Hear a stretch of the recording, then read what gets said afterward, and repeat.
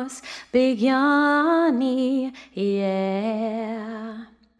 One happy birthday dot com.